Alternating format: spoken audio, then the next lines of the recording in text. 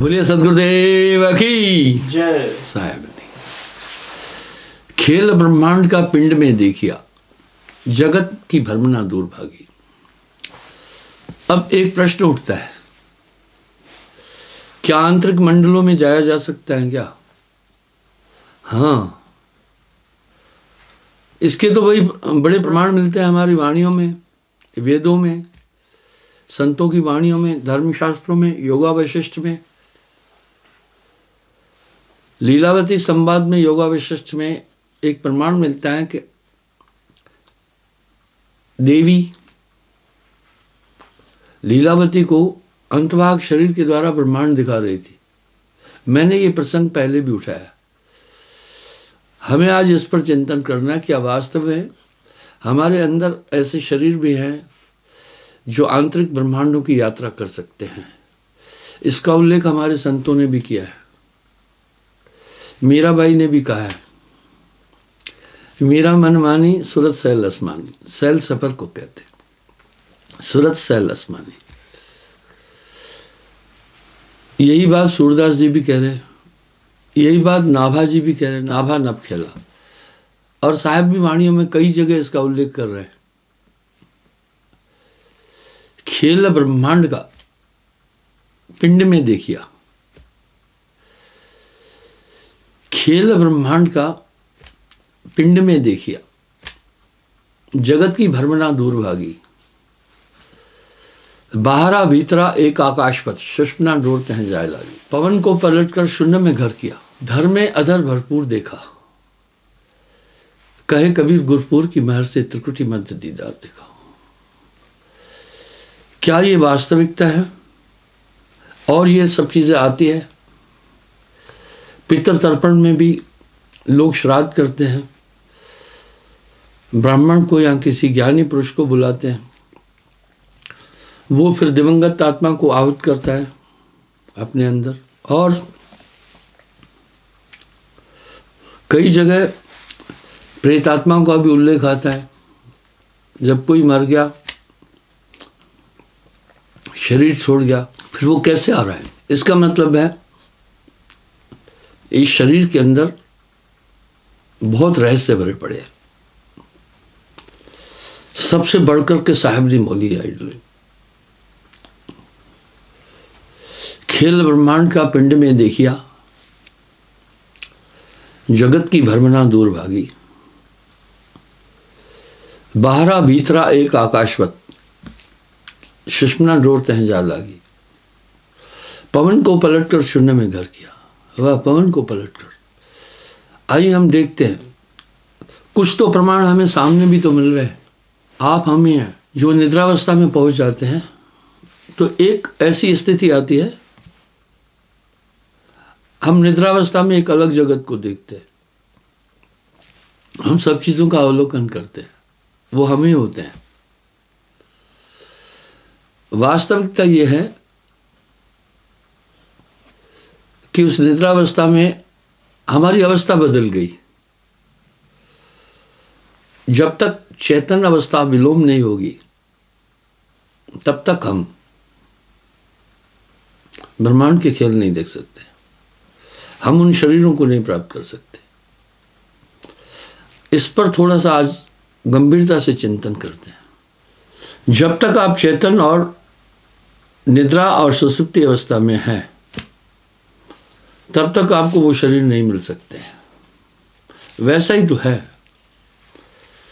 जैसे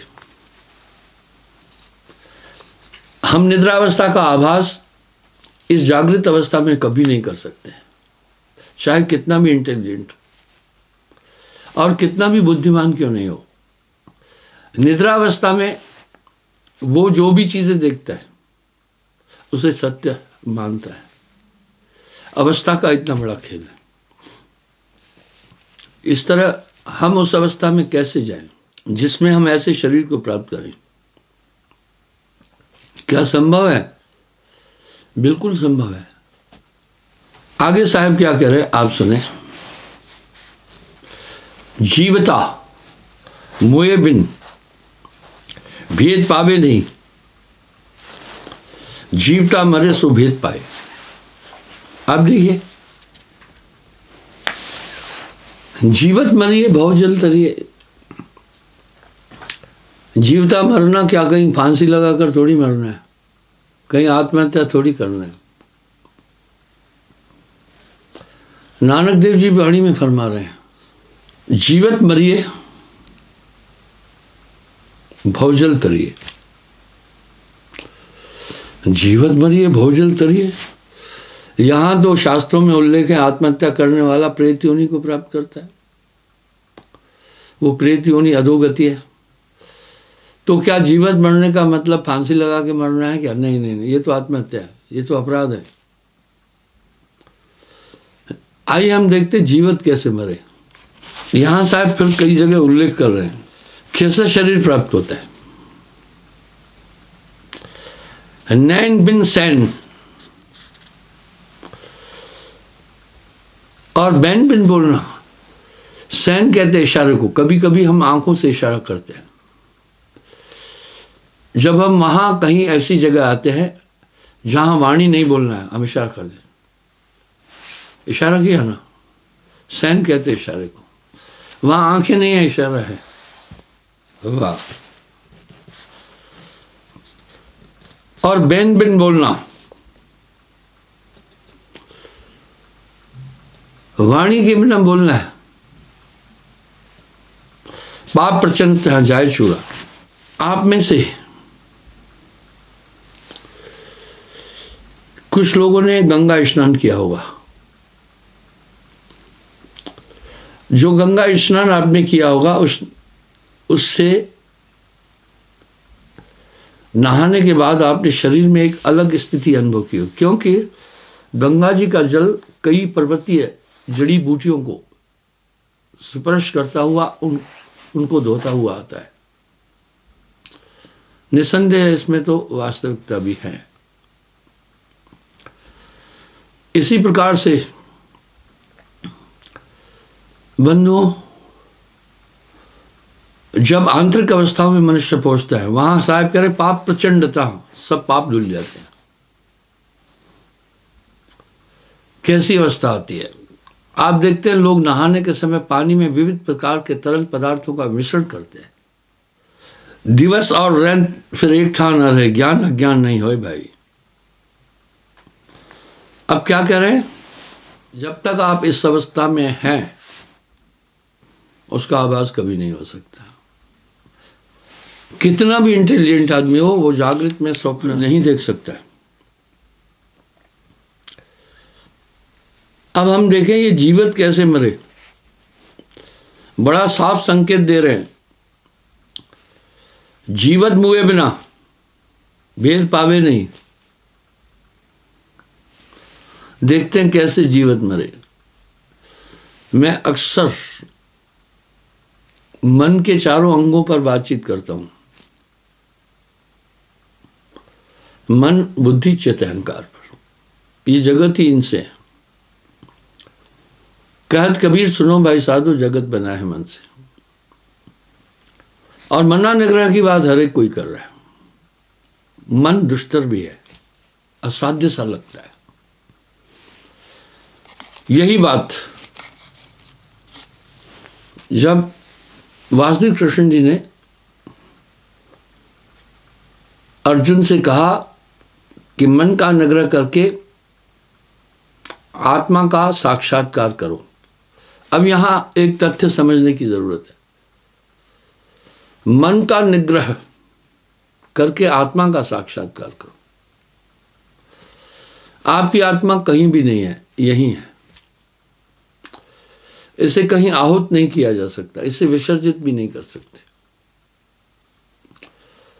अब मना निग्रह के बाद जो बाकी बचता है, आत्मा है।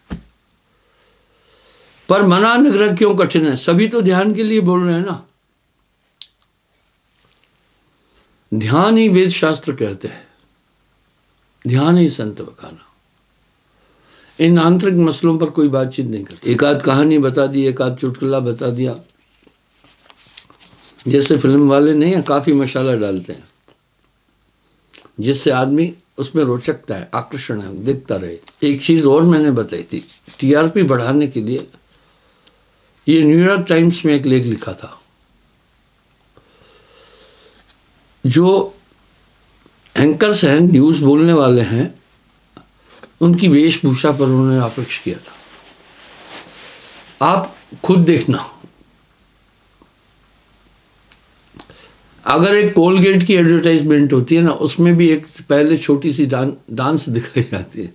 भाई, डांस और कोलगेट का क्या संबंध है?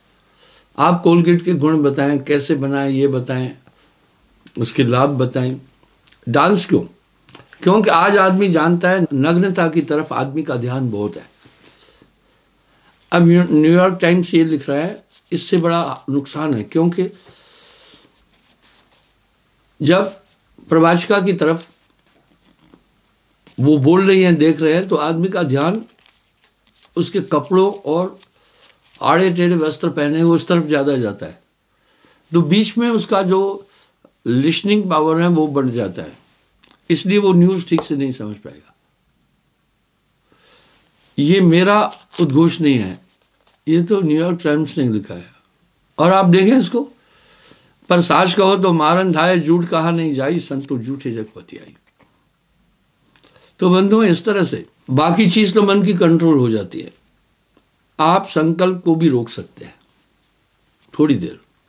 पर वो भी बड़ा दुष्तर है मन। आप बुद्धि को भी थोड़ा नियंत्रित कर सकते हैं। लेकिन आप सोचें कि हमेशा आप नियंत्रण करेंगे नहीं। साहब ने इस पर एक शब्द बोल दिया। पलटत बुद्धि न लागत बेरी। बेर कहते हैं टाइम को। दिमाग पलटने में ज़्यादा टाइम नहीं लगता है। आप देखते हैं। कभी कभी ऐसे भी लोग हैं जिनके सिवा आप कभी रहते ही नहीं थे, जी नहीं पाते थे। और समय बदलने के साथ कभी कभी वो शत्रु बन जाते हैं, जिन्हें आप देखना नहीं चाहते। ये मन परिवर्तनशील है। जिन जिन चीज़ों में आपकी आसक्ति होती है, कालांतर में उनसे नफरत हो जाती है। स्थिर नहीं रहता। चलो ठीक है, थोड़ी देर आप नियंत्रण कर सकते हैं। बुद्धि पर भी, चित्त पर भी। लेकिन अहंकार पर नहीं। बुज़ुर्ग लोग पहले कहते थे कि भाई सांप को मार के फेंकना नहीं है। पहली बात तो नियमानुसार सांप किसान का मित्र है और गिलहरी किसान की शत्रु है। सांप खेती बाड़ी को कोई नुकसान नहीं करता। और भी नुकसान करने वाले जीवों को, चूहों को, वो ढूंढ कर खा ले गिलहरी बहुत नुकसान करती है। तो पुराने लोग कहते थे, सांप को मारने के बाद, मैं इस पक्ष में नहीं हूँ, पर इसमें एक टेक्निकल बात है। उसको खुला नहीं फेंको, वो फिर ज़िंदा हो जाएगा। उसको ज़मीन में दबा दो। खुला फेंकना हानिकारक है। उसके कांटे भी रहेंगे। मांस तो खा जाएँगे जीव जंतु वो कांटे भी जहरीले होते हैं। अब सांप क्या खुला फेंकने से हवा से फिर ज़िंदा हो जाएगा? हाँ। मैं तर्क देता हूँ। दीपावली का दीप जलने के बाद ठंडक शुरू हो जाती है। मध्य भारत में, उत्तर प्रदेश, बिहार आदि में, और कई प्रांत हैं, राजस्थान आदि में। उसके बाद सांप भूमिगत हो जाता है। जब भूमिगत होता है तो वो फिर आहार क्या, डाइट क्या लेता है, इसका मतलब उसके शरीर में एक सिस्टम है। वो पवन से पूरी ताकत ले लेता है। पवन में ताकत है, जिसमें भी रक्त है। जिसमें भी रक्त है, उसे ऑक्सीजन की ज़रूरत है।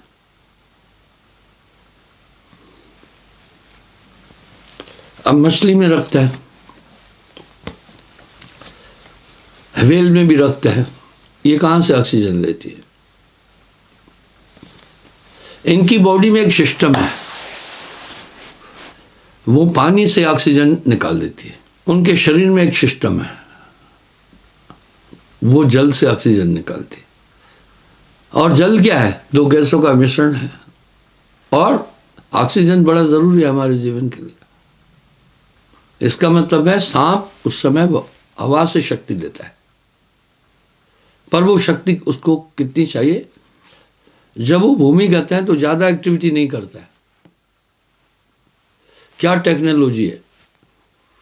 जितनी जीवन शरीर को जीवित रखने के लिए एनर्जी चाहिए, वो उतनी हवा से ले लेता है। मूवमेंट तो करता नहीं है जब ज़मीन के अंदर है नो मूवमेंट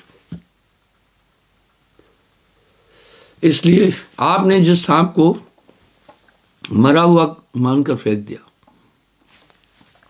पूरा नहीं मरा है।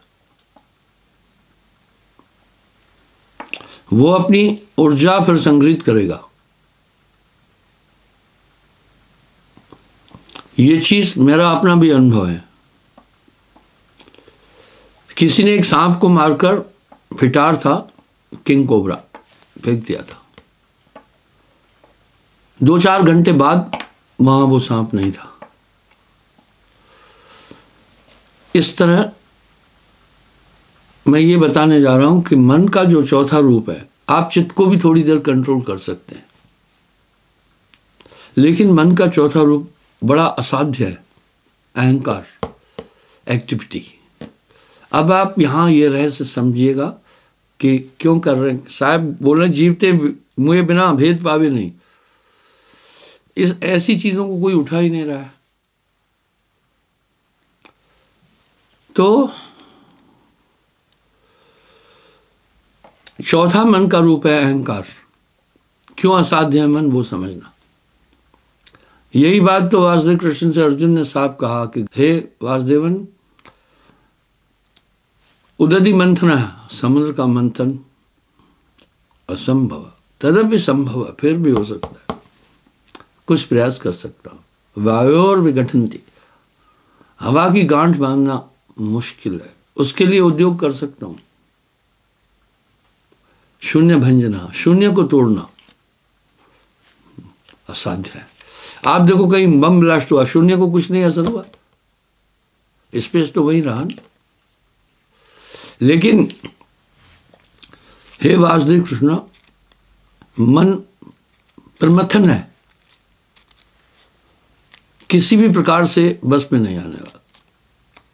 यहाँ वासुदेव कृष्ण ने कहा, अर्जुन, ऐसा नहीं है।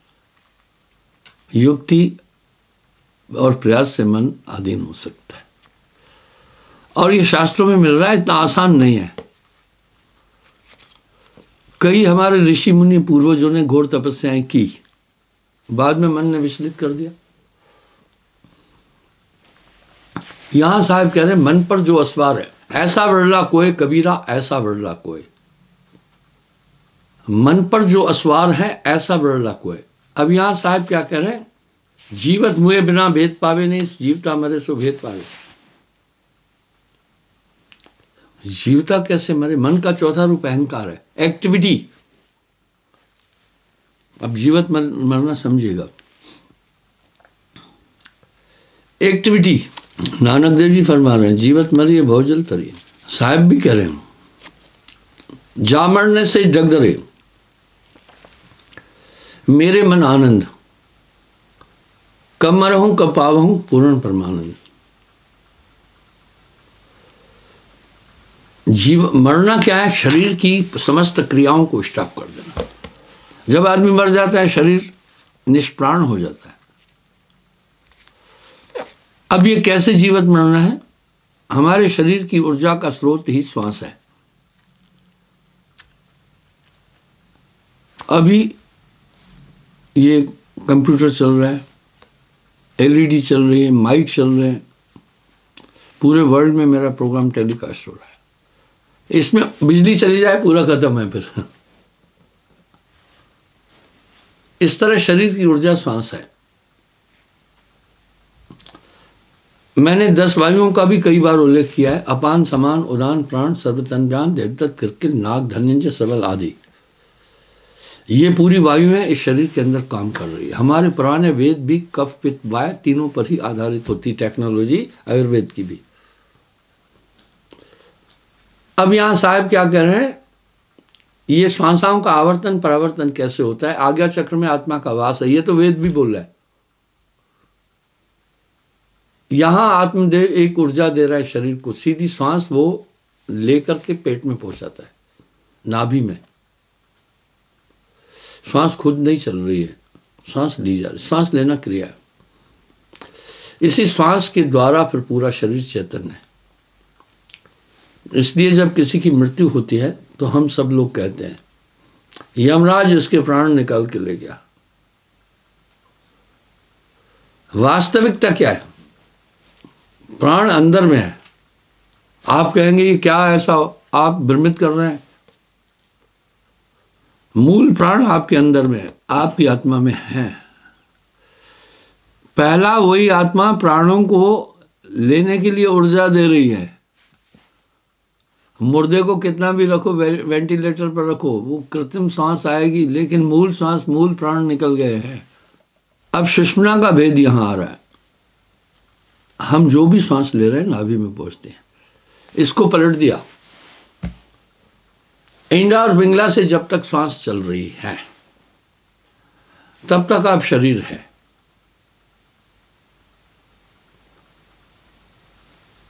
अब यहाँ साहब एक शब्द कह रहे हैं, ईंडा पिंगला सुखमना सम करे। अर्ध और उर्ध्वच ध्यान लावे।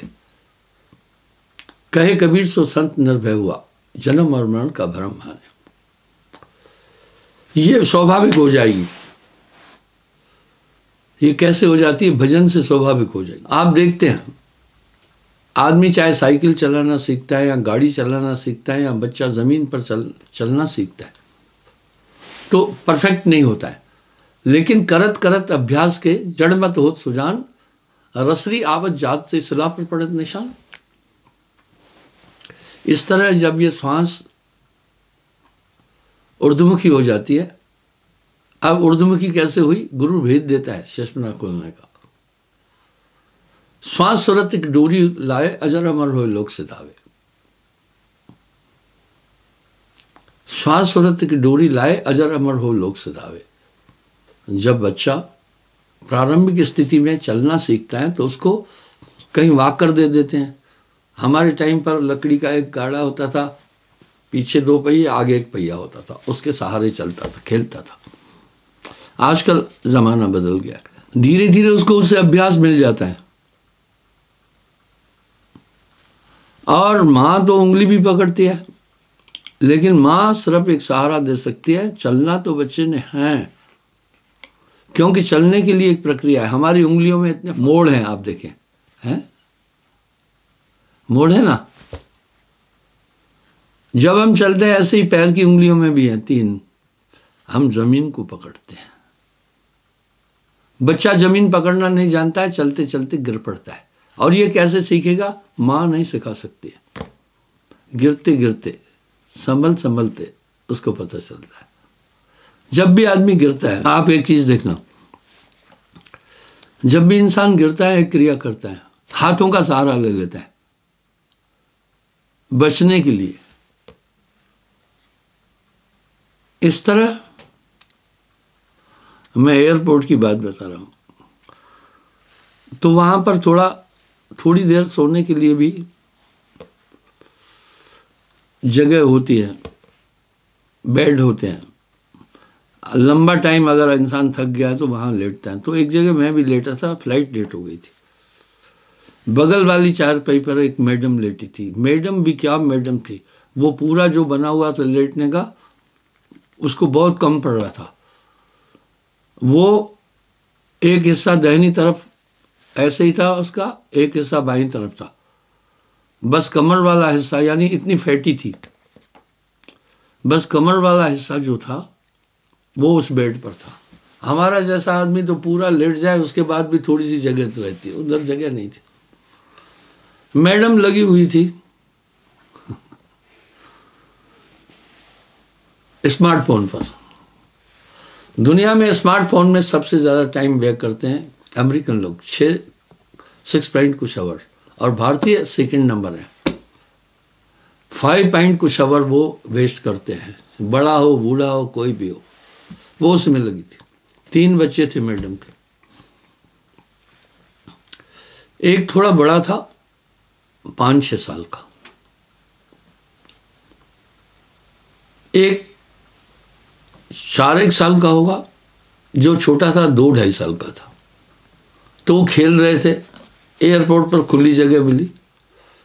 खेलते खेलते, मेरी नज़र बच्चों पर थी। पर मैडम बेखबर थी। वो ऐसे रमी हुई थी स्मार्टफ़ोन में। अब मैं सादा रहता हूँ, मुझे कोई जानता ही नहीं है। सेलिब्रिटी में विश्वास नहीं रखता लोगों मैनू निंदो मैनू निंदो। जितना आप लोगों की प्रशंसा प्रशंसा से खुश होंगे ना, उतना ही आप आहत हो जाएँगे जब आपका कोई विरोध करेगा। और मैंने कई बार बोला, जो अपना विरोध नहीं सुन सकता है वो बहुत कमज़ोर होता है, बहुत कमज़ोर आदमी आता है। उसमें विवेक शक्ति नहीं है। बच्चा रोने लगा, वो छोटा गिर गया कहीं। चार साल वाले ने कहीं उसको कुछ ठेला दे दिया, वो गिर गया। जब गिर गया तो उसकी टांग थोड़ी यूँ मुड़ी। बच्चा रोने लगा बहुत। मैंने देखा इसको मरोड़ा, तेज आया है। लेकिन जो माँ लेटी हुई थी, उसको इससे कुछ लेना देना नहीं। मैंने कहा आप लेडी, ऐसे क्या बातचीत करना है? आजकल तो किसी से बोलने में भी डर लगता है। मैंने कहा, मैडम, आपके बच्चे को थोड़ी चोट लग रही, रो रहा है। बोला, वो ठीक हो जाएँगे, आप चुप हो जाएँगे। मैं कहा, नहीं, ये जब गिरा है, ज़्यादा विलाप के साथ रो रहा है, इसकी एक टांग मुड़ गई है अटपटा गिरा है, थोड़ा आप इसको देखो। तो वहाँ से वो बड़े वालों को कह रही है, ए, चुन्नू। उस मुन्नू को देख